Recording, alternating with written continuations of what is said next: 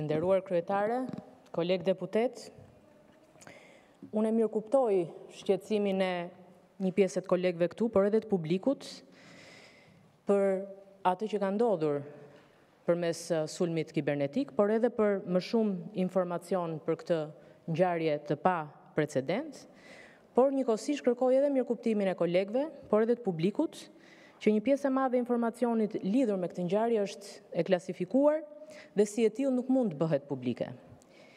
Sigurisht që ajo që nuk kuptoj në reagimet që kemi dëgjuar deri tani është fakti që edhe kjo ngjarje po tentohet të kthehet në një çështje që po përdoret për debate politike dhe në funksion të axhendave partiake. Dhe nuk e kuptoj këtë sjellje kur e krahasoj me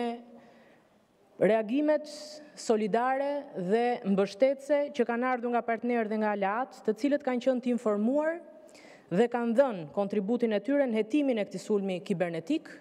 dhe kanë ofruar pa diskutim gatishmërinë e tyre, gjithë gatishmërinë e tyre për të mbështetur me ndihmë dhe masa konkrete Shqipërinë për të forcuar akoma më tej mbrojtjen e saj kibernetike dhe kapacitetet e saj në funksion të mbrojtjes kibernetike. Dëgjova të thuhet që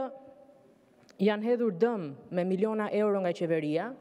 të cilat janë para të shpenzuara kot, sepse kapacitete mbrojtëse nuk ka. Po si mund të thuhet, të nderuar kolegë, një gjë e tillë, kur të gjithë jemi dëshmitarë që pavarësisht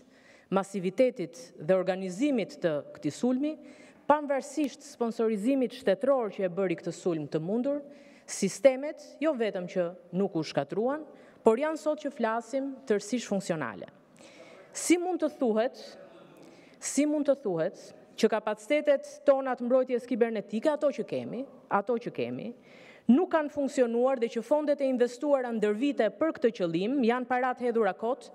kur shikon se pavarësisht goditjes masive, sistemet tona janë rikthyer, të dhënat nuk janë shkatërruar, Edhe pse pas sulmit qëndronte e njëjta dorë që ka sulmuar duke shkaktuar dëmtime shumë serioze në vende me kapacitete mbrojtëse dhe më të mëdha se ne, me financa të dedikuara për kapacitetet mbrojtëse shumë më të mëdha se ne, si Izraeli, si Arabia Saudite, si Emiratet e Bashkuara.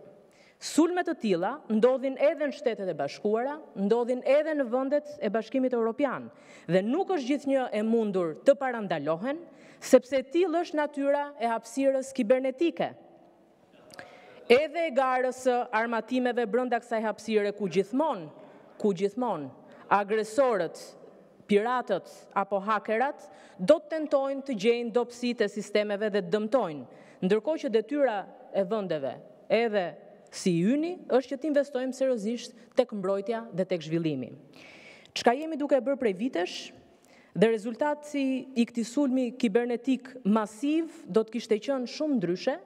dhe fati i sistemeve tona do të kishte qenë në një kolaps përfundimtar dhe të parekuperueshëm në qoftë se nuk do të kishim investuar edhe aq sa kemi investuar për mbrojtjen kibernetike.